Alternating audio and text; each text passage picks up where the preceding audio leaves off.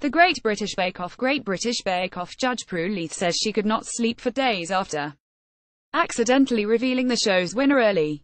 Leith, 77, was in Bhutan when she tweeted her congratulations to Sophie Faldo, hours before the Channel 4 final. She told RTE's The Ray D'Arcy show that the nation's Prime Minister Tshering Tobgay called her after the error. Sophie's journey from baking hopeful to bake-off legend.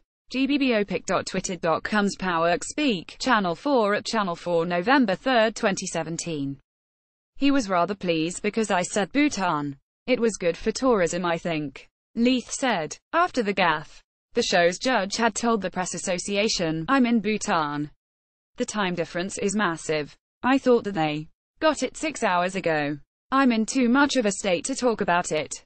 It was a mistake. I F up. Now she has said that when she realized what she had done she tried to delete her tweet. I am so sorry to the fans of the show for my mistake this morning. I am in a different time zone and mortified by my error GBBO. Prue Leith at Prue Leith October 31, 2017. I was in such a panic I couldn't work my phone. I couldn't delete it. Leith said. So I rang my secretary and she said, don't worry, I have already done it 89 seconds afterwards but it was too late. Leith said everyone at Bake Off and Channel 4 was very supportive, but added, it was days before I could sleep properly. Press Association. Follow at Indo Ents.